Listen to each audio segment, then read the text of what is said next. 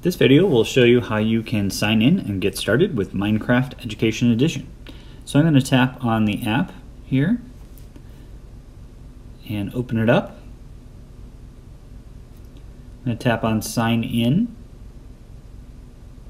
and as a staff member I'm going to use my K-12 email address. Students will use their shakopeeschools.org Gmail accounts. Tap next. Enter the password you use for Google and Canvas and other applications and tap sign in. Once you're in, you can tap OK or you can learn more about the updates. From there, you've got some options. Probably the first thing you'll want to do is tap on where it says play.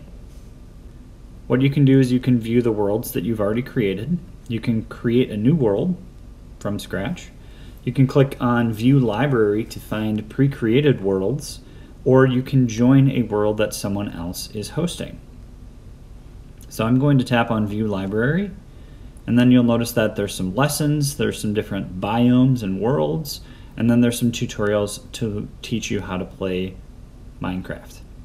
I'm going to tap on Lessons and open up a science lesson.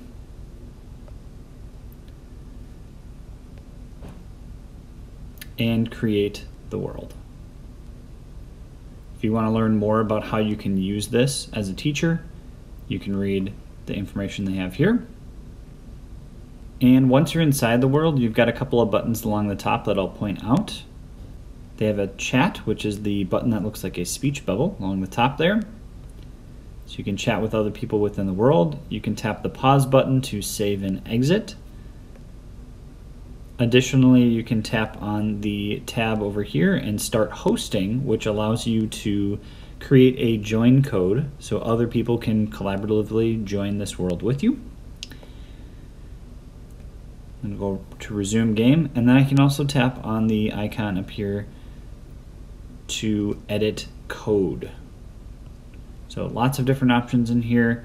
You can start exploring the world using one finger here and then on the left there is a control pad that allows you to move around. So I'm going to stop right there.